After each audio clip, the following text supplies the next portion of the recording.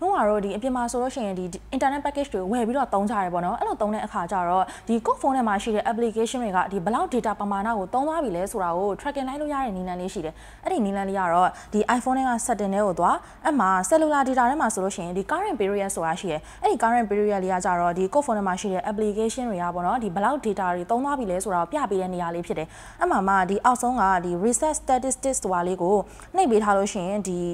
ကိုယ့်ဖုန်းထဲမှာရှိတဲ့ application တွေကပေါ့နော် data သုံးတဲ့ဥစ္စာကိုအစအနေပြန်ပြီးတော့မှတ်ပေးမှာဖြစ်တယ်ဥပမာကိုကဒီ research statistics ကိုနှိပ်ပြီးသွားမှာပေါ့နော် 1GB ကိုဝယ်လိုက်ပြီဆိုပါစို့အဲ့ဒါဆိုလို့ရှိရင် तू ကဒီအချိန်ပမာဏတစ်ခုကိုရောက်သွားပြီးအချိန်ကြာလို့ရှိရင် तू ကဒီဖုန်းထဲမှာရှိတဲ့ application တွေကပေါ့နော်ဒီ 1GB ကိုသုံးလိုက်တာဒီကုန်သွားပြီလားမကုန်သေးဘူးလားဆိုတာကို तू ကဒီ current period ဆိုတဲ့နေရာမှာ check လုပ်ကြည့်လို့ရတယ် ဒါလေးကတော့တခုပေါ့နော်နောက်ထပ် setting ထဲမှာလုပ်လို့ရတဲ့နည်းလမ်းလေးတခုပြပြပေးဦးမယ်အဲ့ဒါကကြတော့ဥမာတော့ဒီလိုမျိုးအပြင်မှာတချင်းနားထောင်နေဆိုလို့ရှိရင်ဒီတချင်းတွေကိုပေါ့နော်ဒီနောက်ခံမှာဒီရေစည်းတန်လေးတွေလှိုင်းတန်လေးတွေဒီမိုးရေတန်လေးတွေနားထောင်ကျင်နေဆိုလို့ရှိရင် YouTube မှာတကူတကသွားပြီးတော့နားထောင်တတ်ကြရလေဒါပေမဲ့အဲ့လိုမျိုးနားထောင်ကြမလို့တော့ပဲねကိုကြိုက်တဲ့တချင်းကိုပဲဒီနောက်ခံမှာပေါ့နော်ဒီမိုးရေတန်လေးတွေရေစည်းတန်လေးတွေရောပြီးတော့နားထောင်လို့ရတဲ့နည်းလမ်းလေးတခုရှိတယ်အဲ့ဒါကတော့ setting ထဲက accessibility ထဲမှာပေါ့နော်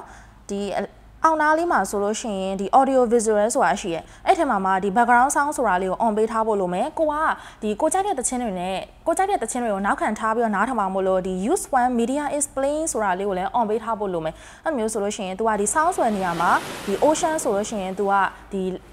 ပင်လယ်သမုဒ္ဒရာဒီလှိုင်းတန်လေးတွေပေါ့နော်ဒီ rain ဆိုလို့ရှိရင်တော့ तू ကမိုးရေတန်လေးတွေ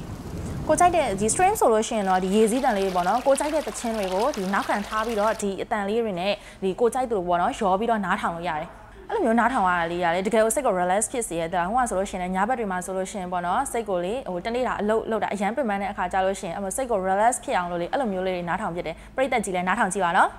နောက်ထပ်တစ်ခုကတော့ဒီဖုန်းထဲမှာပေါ့နော်ကိုကြည့်နေတဲ့နေရာလေးကိုပဲရွေးပြီးတော့အကြီးကြီးချဲ့ပြီးတော့ကြည့်လို့ရမယ့် function လေးတစ်ခုအစားပြပြပေးမယ်အဲ့ဒါကတော့အခုနကလိုပဲဒီ setting တွေက accessibility ကိုသွားဒီအပေါ်ဆုံးနားလေးမှာဒီ zoom ဆိုတာရှိရယ်အဲ့ဒီထက်ကမှဒီ zoom ဆိုတဲ့ဟာလေးကိုသွား on ပေးထားရမယ်ပေါ့နော်ပြီးသွားလို့ရှိရင်လက်သုံးချောင်းနဲ့ကို အကြီးချဲ့ပြီးတော့ကြည့်ကျင်တဲ့နေရာကိုဒီလိုမျိုးသုံးချက်တောက်ပေးလိုက်မယ်ဆိုလို့ရှိရင် zoom in ဆိုတာလေးကိုနှိပ်လိုက်တယ်ဆိုလို့ရှိရင်အဲ့နေရာလေးကိုအကြီးချဲ့မြင်ရမယ်ပေါ့နော်အဲ့လိုမျိုးမမြင်ချင်တော့ဘူးပုံမှန်အတိုင်းပဲပြန်ပြီးဖြစ်ချင်တယ်ဆိုလို့ရှိရင်ဒီလက်သုံးချောင်းနဲ့ပဲသူကဖုန်းကိုသုံးချက်အဲ့လိုနှိပ်လိုက်တယ်ဆိုလို့ရှိရင်သူက zoom out ပြန်ပြီးတော့ဖြစ်သွားမှာပါနောက်ဆုံးတစ်ခုကတော့ဒီဟိုကတော့မျိုးဓာတ်ပုံရိုက်တာကြိုက်တဲ့ main ကလေးတွေတော့ပေါ့နော်ဒီ camera function လေးတစ်ခုအကြောင်းပြပြပေးမယ်အဲ့ဒါကတော့ setting ထဲက camera မှာဒီ photographic style ဆိုတဲ့ function လေးသူကကြတော့အမှဆိုလို့ရှိရင်ဒီလိုမျိုး ဒီဓာတ်ပုံရိုက်လို့ရှိရင်ပေါ့နော်သုံးတဲ့ function တွေဒီ Instagram effect တွေပေါ့နော်အများကြီးပဲရှိတယ်ဒီမျိုး standard ဒီ rich contrast vibrant အများကြီးပဲရှိတယ်ပေါ့နော်အဲ့ထက်မှာကိုကဒီ vibrant effect လေးရကျင်တယ်ဆိုလို့ရှိရင်ဒီမှာ use vibrant ဆိုတာလေးကိုနှိပ်နှိပ်ပြီးသွားလို့ရှိရင်ဒီ camera ထဲကိုဝင်လိုက်မယ်ဆိုလို့ရှိရင်သူက auto vibrant ပုံစံမျိုးဖြစ်နေရပေါ့နော်အဲ့ထက်မှာမှသူကဒီဟာလေးကိုနှိပ်ပြီးတော့သူကဒီတုံးလေးကိုလည်းအတိုး shot လုပ်ပြီးလို့ရတယ် ပြီးတော့လို့ရှိရင်ဒီဘက်က one ဆိုတဲ့ဟာလေးကိုလည်းသူကအတိုး shot လုပ်ပြီးတော့ကစားပေးလို့ရတယ်ဒီ effect လေးတွေကလေဒီဓာတ်ပုံရိုက်လို့ရှိရင်တော်တော်လေးကိုလှတဲ့အထဲမှာပါတယ်အားလုံးကိုသုံးကြည့်ဖို့အတွက်အကြံပေးချင်ပါတယ်ဒီနေ့ကပြောပြပေးခဲ့တာကတော့ iPhone အသုံးပြုတဲ့သူတွေအတွက်ဒီပို့ပြီးတော့အဆင်ပြေစေမဲ့ function လေးတွေအကြောင်းပြောပြပေးခဲ့တာပဲဖြစ်ပါတယ်နောက်နေ့တွေမှာလည်းဘယ်လိုမျိုးစိတ်ဝင်စားဖို့ကောင်းတဲ့အကြောင်းအရာတွေနဲ့ပြန်လာအောင်မလဲဆိုတာကိုစောင့်မျှော်ကြည့်ရှုပေးကြပါအောင်နော်